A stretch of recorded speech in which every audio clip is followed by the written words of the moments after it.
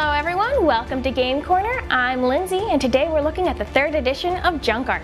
An amazingly complex yet easy to get into game, it was designed by the duo known as the Bamboozle Brothers, Jay Cormier and Sen-Foong Lim.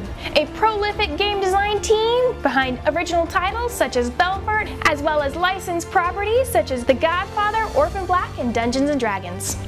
In junk art, players must build art out of the junk they are presented with. If something falls down, you have to keep building on the remains. With over 10 different game modes, this has a ton of replayability and will be different every time you play. The engaging artwork is provided by Philippe, who has also worked on many other games such as Azul, and Chris, who has also worked on a ton of titles as well. Junk art is a great way to spend time with friends. Competing with other artists, turn your junk into extraordinary creations, showing your skills and getting as many fans as possible. Junk art is available at Game Kastle and Game Kastle Online.